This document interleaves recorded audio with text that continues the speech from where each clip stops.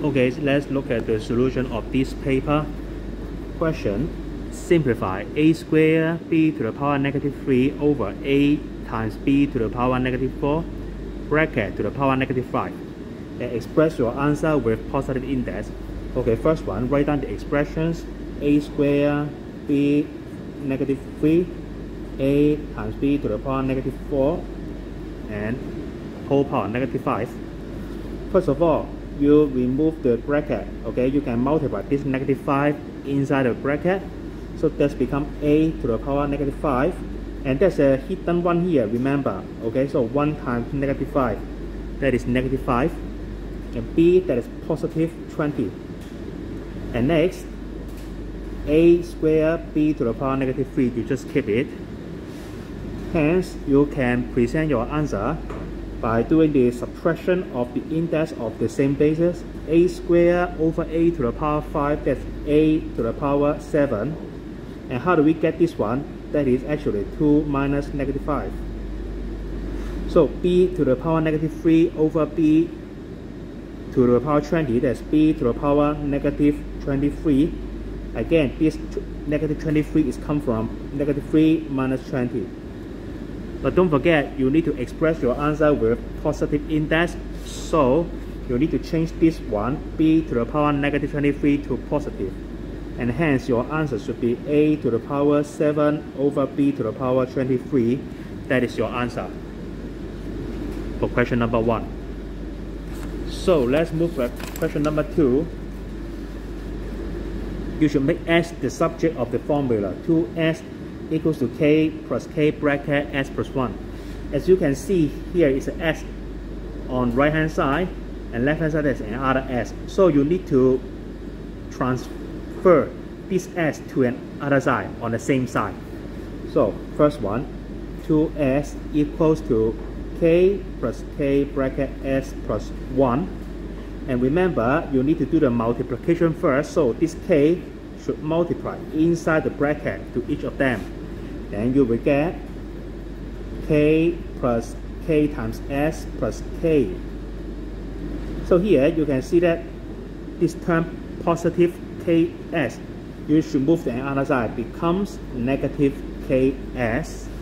And here, remember to simplify this, k plus k, actually that's 2k. So, you can take out the common factor s on left hand side, s bracket 2 minus k equals 2k. And now you can do the division by moving this factor 2 minus k on the denominator of this side. So final answer s equals 2k over 2 minus k. That is your answer. And then let's move to question number 3. Okay, it's an example of factorization. So part A, you need to factorize this one. x squared minus 2x plus 1. That's quite straightforward because actually you are just applying the formula of the perfect square a squared plus 2ab plus b squared. In here, what is b? Actually, b is 1, but we omit this because 2 times x times 1, it, that is 2x. And 1 can be regarded as 1 square. So you can directly write that as x plus 1 and then bracket square. So go to part B. x squared minus 9y squared plus 2x plus 1. And many of you may try to look in this way. x squared minus 9y squared, they want to use the formula of difference of 2 square. You can do it at the very beginning, but after you do this, you will observe that you cannot further factorize the expressions remained okay so it is not the possible way to factorize x squared minus 9y squared first. So that's the hint. Look at part a. You need to grouping up of three terms x squared plus 2x plus 1 we do the same way in part b. So move 2x plus 1 in front of it and then 9y squared behind it. So you can see that we can apply the result of a x minus 1 all square 9 minus 9 y square and remember if you can apply the result of a you still get one mark even though you cannot get the correct answer in part A, but if you can apply the results of part A, you still can get one math mark. Here, you can observe that that is something a square minus 9b square, right? So, you can apply the formula that is a plus 3b times a minus 3b. Why? Because this one can be further simplified is a square minus 3b bracket square actually. So the format of difference of two square and hence you can present in this way x plus 1 plus 3y times x plus 1 minus 3y. So that is the final answer of this question. And then we move to question number 4. So the cost of t-shirt is $30 and the mark price is 240% higher than its cost and sold at a discount of 10%. Part A find the selling price, part B find the profit. In here, if the question about the percentage related to cost, mark price and selling price, you need to write down the CMS model. That is cost price, mark price and selling price. The cost price is $30 and you add as a 240% to become the market price and then sell a discount of 10% so multiply to 0.9 you will get the selling price. So let's find the mark price and the selling price. Mark price would be equals to the original cost 30 times 1 plus 240 percent not just 240 percent okay because the question is talking about 240 higher than its cost. That means the original base is 1, you need to add on 240%. So the expression will be in this way, and you press the calculator, 30 times 1 plus 2.4, that is 102, $102. And the selling price will be $102 multiplied to 0.9 that you can get. $91.8 that's part A. So let's move to part B. In part B you need to find the profit. So we write down profit that would be $91.8 the selling price minus the cost $30 so that is final answer $61.8 that's it. Let's finish question number four. Remember every time you are considering the cost price mark price and selling price you should consider such kind of the CMS model then plug in the number and set up the equation to solve this they're quite straightforward. So question number five this concept about the run up, run down, and run off. A, run up this number to the nearest integer. So the integer 1, 2, 3 up to here, you need to consider this one. That is 0, but you need to doing running up. That means you always plus 1 here. So the answer would be 124. Okay? Part B, you need to run down this number to two decimal place. So decimal point here, 1, 2, decimal the second one here. So you need to look at this 6. Usually, if you are doing running off, you need to move one unit up, okay? But here, it's running down. That means you must not add. Always don't add this. So the answer is 123.04. And part C, run off the number to four significant figure. 1, 2, 3, 4. This is the fourth significant figure, okay? So you look at this 4, the fifth significant figure, you are doing running off. So this number is less than 5. So you would not running up. You would not run it up. So the final answer 123.0. You must add this 0 because you are considering 4 significant figures. Okay? So that's finish of question number 5. And then question number 6, you need to simplify this fraction. The first one, what we need to do is, okay, write down the fraction first.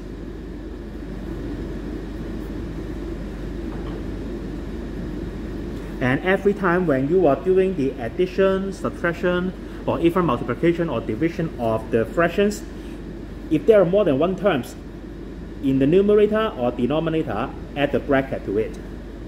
Then find the LCM. In this case, you just multiply these two factors together. So in numerator, 4x will multiply to 15x plus 2 and negative 3x. Remember, you multiply the factor that is 20x minus 3, you should have the bracket to it. Next step, the denominator, no need to do any action, just keep it.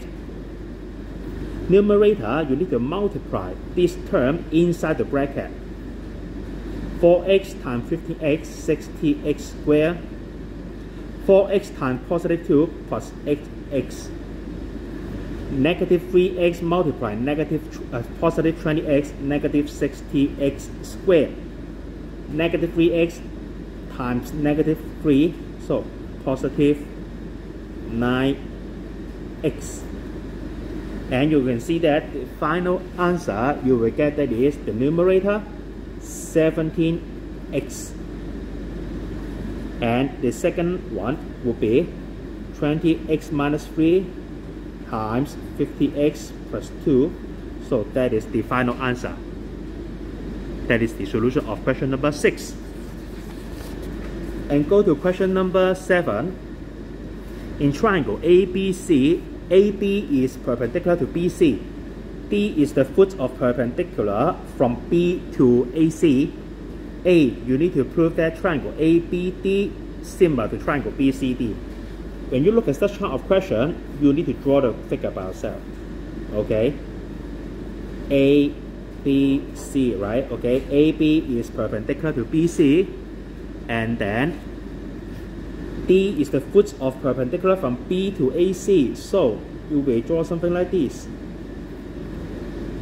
D is lying on AC and BD will perpendicular to AC. That's the meaning of foot of perpendicular means.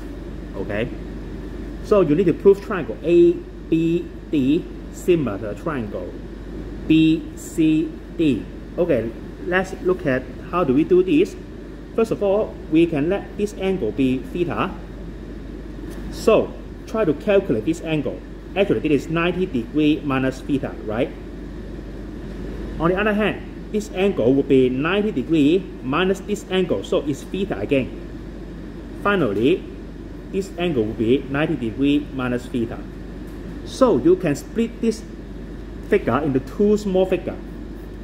The first one will be this one, ABD, and this is theta, and this is 90 degree minus theta.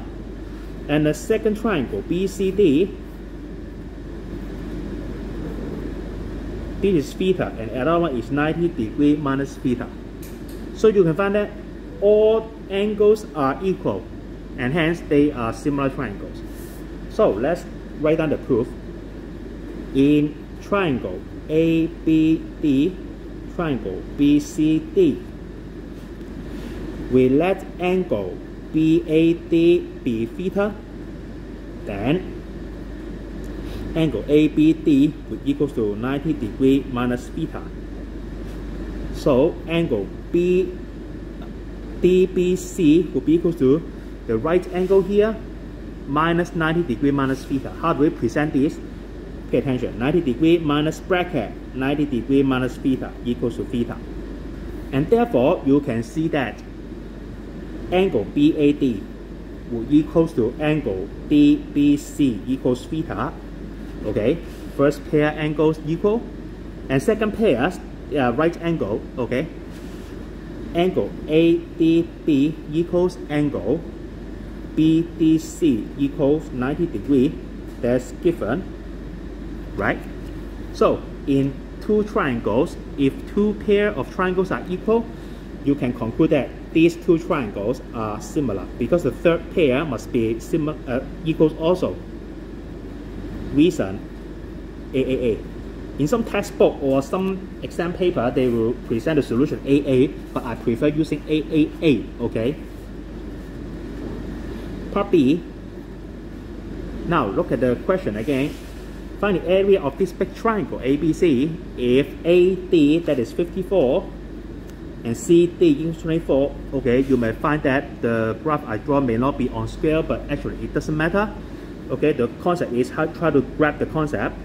So you can look at this one.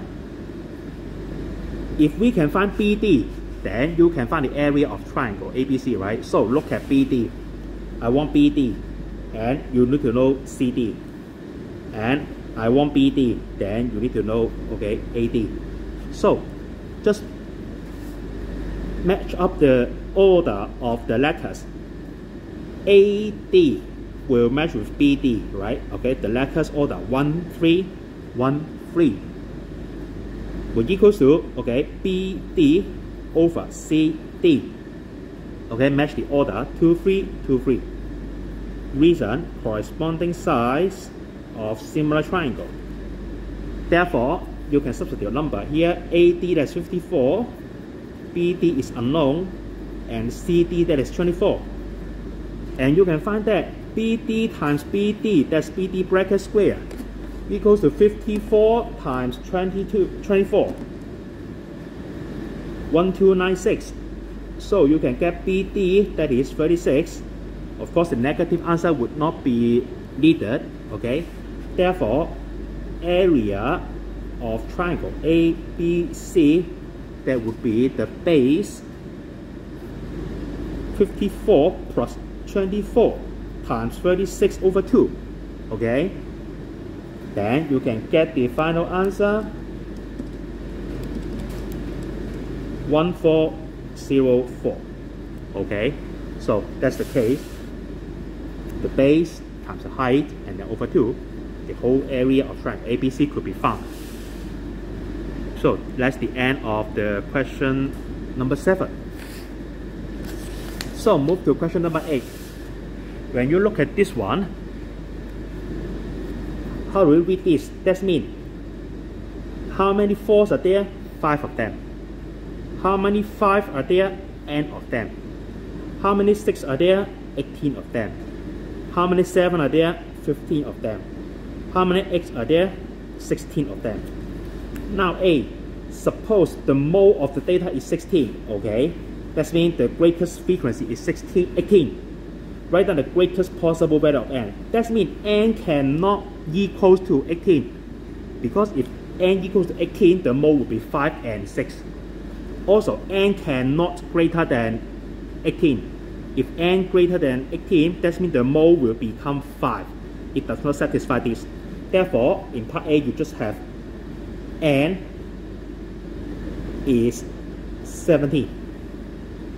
The greatest possible value of n, at most 17. Okay? So, B, the median of data is 6. Find the greatest possible value of n and the least possible value of n. So, let's look at the case. When would n be the greatest? If the if the first 6 is the median, then n would be the greatest. Okay, so let's see what's happened.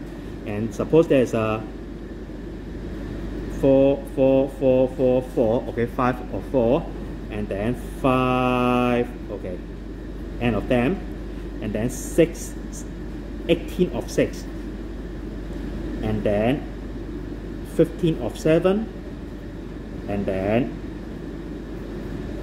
16 of 8. So if the first 6 would be the median, then it cut the data into two parts. Left hand side would be have containing m plus 5 data, and the right hand side will contain 18 minus 1, that's 17, because you get one of the 6 as the median, so remaining 17 plus 15 plus 16 as the number of data on right hand side. And these two numbers should be the same because you are talking about the median. So n plus 5 will equal to 17 plus 15 plus 16 and hence you can find 5 this is 17 plus 15 plus 16 and then minus 5 n is 43 so the greatest possible n is 43 and next, when would the least possible value of n comes out? That is, if the last 6 is the median, then let's see what's happened. So again, there's a 5 of 4, that is a n of 5,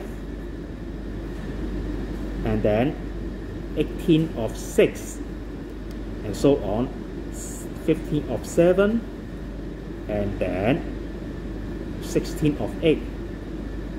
So if the last median, the last 6 will be the median, left hand side, it will have 5 plus m plus 17, not 18 because one of the 6 will consider as median.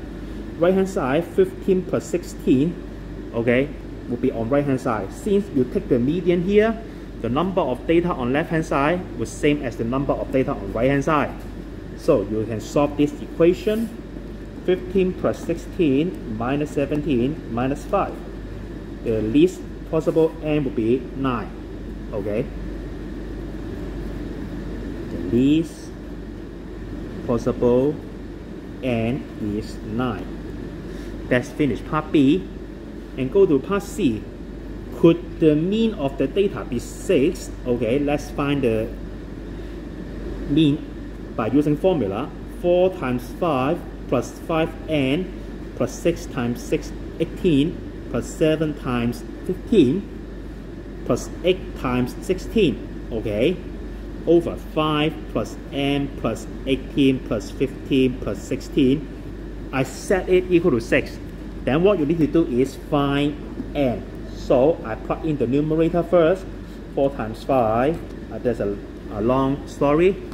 Plus 6 times 18 plus 7 times 15 plus 8 times 16. Numerator 361 plus 5n equals 6 times such thing. So 5 plus 18 plus 15 plus 16 n plus 54. So you can solve n that is 361 minus 6 times 54 n equals to 37 so yes it is possible.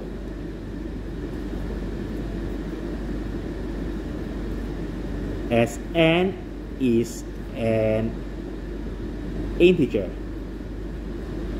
If you find that n is an integer then it is possible. Otherwise it is not possible.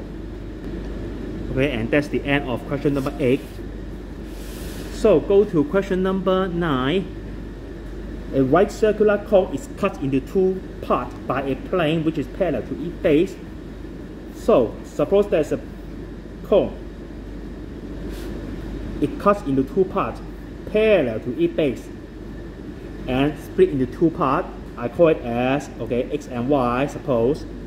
And these two volume are the same. Volume of x equals to volume of y. Now, if the ratio of the height of the upper part to the lower part is 1 to h, find h. So, let's do in this way. The key observation is, note that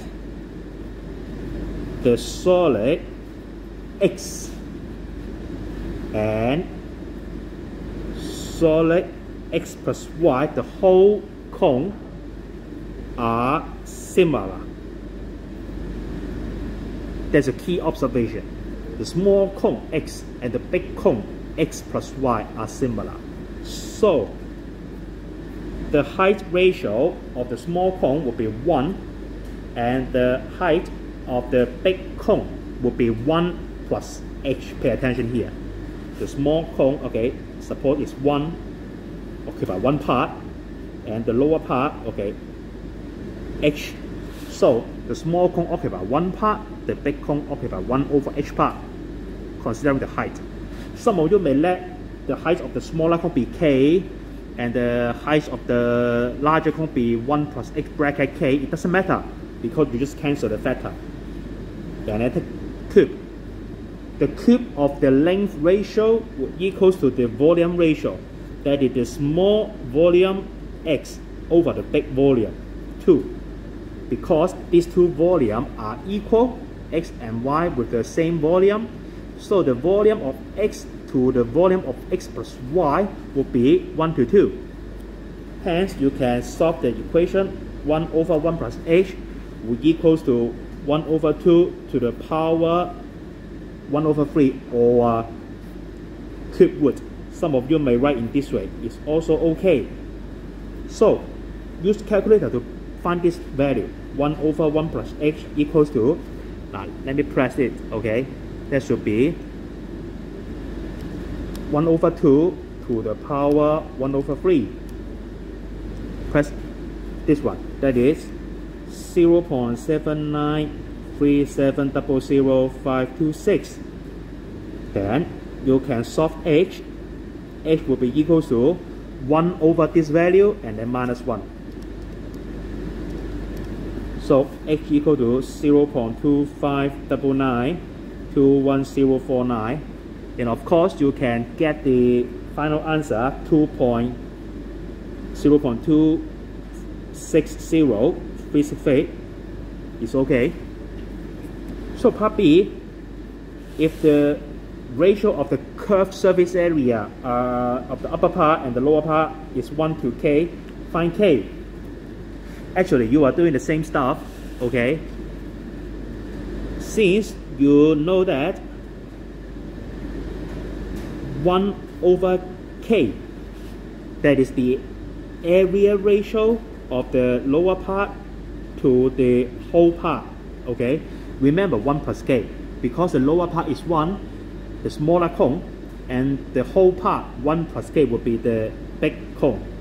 When you are considering this one, then take square root, that is the length ratio again, okay?